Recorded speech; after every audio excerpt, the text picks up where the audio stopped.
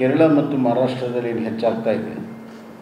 ಕಳೆದ ಬಾರಿನೂ ಕೂಡ ಅಲ್ಲಿಂದಲೇ ಹೆಚ್ಚಾಗಿ ನಮ್ಮ ರಾಜ್ಯದುದ್ದಕ್ಕೂ ಸ್ಪ್ರೆಡ್ ಆಗಿತ್ತು.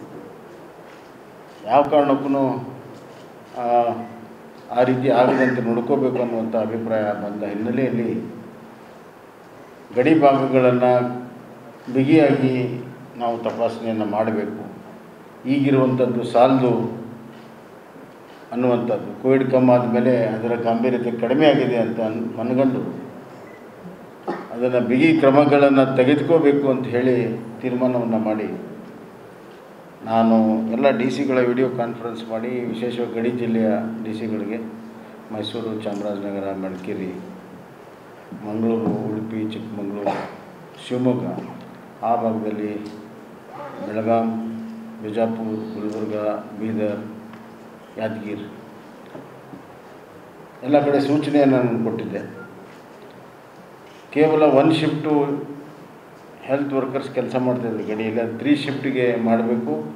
Compulsory R T P C R certificate ಇಲ್ಲದವ್ರಿಗೆ swab collection ಮಾಡಬೇಕು. ಅವರೆಲ್ಲ ಡೀಟೇಲ್ಸ್ಗಳನ್ನು ಇಸ್ಕೋಬೇಕು. ಮತ್ತು ಸಿಂಪ್ಟಮೆಟಿಕ್ ಇದ್ದವ್ರಿಗೆ ರ್ಯಾಟ್ ಟೆಸ್ಟ್ಗಳನ್ನು ಮಾಡಬೇಕು. ಮತ್ತು ಇದರ ಗಾಂಭೀರ್ಯತೆ ಅರ್ಥ ಮಾಡ್ಕೊಳ್ಳೋ ಸಲುವಾಗಿ ನಾನು ಹೇಳಿದೆ, ಹಿರಿಯ ಅಧಿಕಾರಿಗಳು ಒಂದು ದಿವಸ ಬಿಟ್ಟು ಒಂದು ದಿವಸ ಚೆಕಿಂಗ್ ಮಾಡಬೇಕು. ಡಿ ಸಿಗಳು ಹೋಗಬೇಕು, ಎಸ್ ಪಿಗಳು ಹೋಗಬೇಕು, ಡಿ ಎಸ್ ಪಿಗಳು ಹೋಗಬೇಕು ಅಸಿಸ್ಟೆಂಟ್ ಕಮಿಷನರ್ಸ್ ಹೋಗಬೇಕು.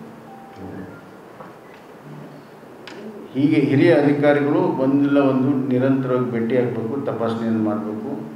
ನಮ್ಮ ಅಧಿಕಾರಿಗಳು ಚೆಕ್ ಪೋಸ್ಟಲ್ಲಿ ಸರಿಯಾದ ಕೆಲಸ ಮಾಡಬೇಕು.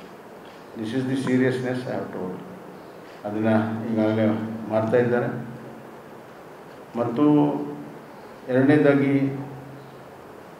ಅಲ್ಲಿ ಕೆಲಸ ಮಾಡೋರು ಎಲ್ಲರೂ ಕೂಡ ವ್ಯಾಕ್ಸಿನೇಟೆಡ್ ಆಗ್ಬೋದು. ಆ ಚೆಕ್ ಪೋಸ್ಟ್ಗಳಲ್ಲಿ ಯಾರ್ಯಾರು ಕೆಲಸ ಮಾಡ್ತಾರೆ? ಮತ್ತು ಮೊನ್ನೆ ನಾವೊಂದು ಸೂಚನೆಯನ್ನು ಕೊಟ್ಟಿದ್ದೇವೆ ಚೆಕ್ ಪೋಸ್ಟ್ನಿಂದ ಹತ್ತು ಕಿಲೋಮೀಟ್ರ್ ಒಳಗಡೆ ಅಂದರೆ ನಮ್ಮ ಬೌಂಡ್ರಿಯಿಂದ ಹತ್ತು ಕಿಲೋಮೀಟ್ರ್ ಒಳಗಡೆ ಎಲ್ಲ ಹಳ್ಳಿಗಳಿಗೆ ಪ್ರಥಮ ಪ್ರಾಶಸ್ತ್ಯದಲ್ಲಿ ವ್ಯಾಕ್ಸಿನೇಷನ್ ಕೊಡಬೇಕು ಅಂತ ಒಂದು ತೀರ್ಮಾನವನ್ನು ಕೂಡ ನಾವು ಮಾಡಿದ್ದೇವೆ. ವ್ಯಾಕ್ಸಿನೇಷನ್ ಈಗ ನಮ್ಮ ರಾಜ್ಯಕ್ಕೆ ಸುಮಾರು ಅರವತ್ತ್ಮೂರಿಂದ ಅರವತ್ತೈದು ಲಕ್ಷ ಬರ್ತದೆ ತಿಂಗಳಿಗೆ ಎವರೇಜ್ ಆಗಿ. ನಾನು ಮೊನ್ನೆ ಕೇಂದ್ರ ಆರೋಗ್ಯ ಸಚಿವರು ಭೇಟಿಯಾಗಿ ಮನವಿಯನ್ನು ಮಾಡಿದ್ದೇನೆ. ಅದನ್ನು ಒಂದು ಕೋಟಿವರೆಗೂ ಇನ್ಕ್ರೀಸ್ ಮಾಡ್ತೇವೆ ಈ ತಿಂಗಳಂತ ಒಪ್ಕೊಂಡಿದ್ದಾರೆ. ಮುಂದಿನ ತಿಂಗಳು ಒಂದೂವರೆ ಕೋಟಿ ಕೊಡಬೇಕನ್ನುವಂಥ ಬೇಡಿಕೆಯನ್ನು ಕೂಡ ನಾನು ಇಟ್ಟಿದ್ದೀನಿ. ಒಂದೂವರೆ ಕೋಟಿ ಬಂದರೆ ದಿವಸಕ್ಕೆ ಐದು ಲಕ್ಷ ವ್ಯಾಕ್ಸಿನೇಷನ್ ನಾವು ಮಾಡ್ಬೋದು ಅಂತ ಒಂದು ನಮ್ಮ ಗುರಿ ಇದೆ. ಮತ್ತು ಟೆಸ್ಟಿಂಗ್ ಇನ್ಕ್ರೀಸ್ ಮಾಡಬೇಕು ಅನ್ನುವಂಥ ತೀರ್ಮಾನ ಇವತ್ತಿನ ಸಭೆಯಲ್ಲಿ ನಾವು ಮಾಡಿದೆ.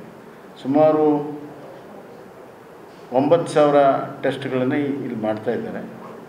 ವಿಶೇಷವಾಗಿ ಗಡಿ ಭಾಗದಲ್ಲಿ ಮತ್ತು ಮೈಸೂರು ನಗರದಲ್ಲಿ. ಯಾಕಂದರೆ ಮೈಸೂರು ನಗರಕ್ಕೆ ಎಲ್ಲ ಊರಿಂದ ಬರ್ತಾರೆ, ಬೇರೆ ರಾಜ್ಯದಿಂದಲೂ ಕೂಡ ಬರ್ತಾರೆ ಕೇರಳದಿಂದಲೂ ಬರ್ತಾರೆ, ಬೆಂಗಳೂರಿಂದ ಬರ್ತಾರೆ, ಮಡಿಕೇರಿಯಿಂದ ಬರ್ತಾರೆ. ಆದ್ದರಿಂದ ಟೆಸ್ಟಿಂಗ್ ಕೂಡ ಇಲ್ಲಿ ಕೂಡ ಹೆಚ್ಚಾಗಬೇಕು ಅನ್ನುವಂಥದ್ದು ನಾನಿವತ್ತು ನಾವೆಲ್ಲರೂ ಸೇರಿ ತೀರ್ಮಾನವನ್ನು